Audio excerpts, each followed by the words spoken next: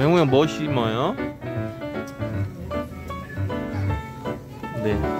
고구마. 아가 양은 무 심네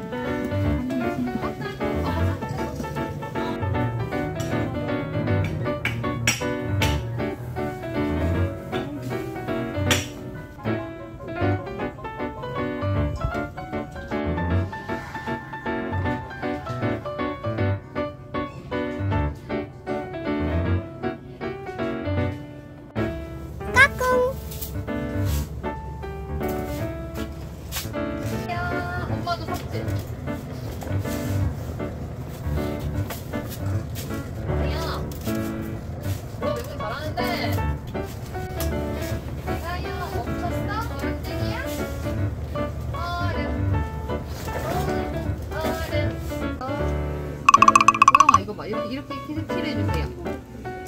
이렇게, 이렇게. 외국인 잘하네.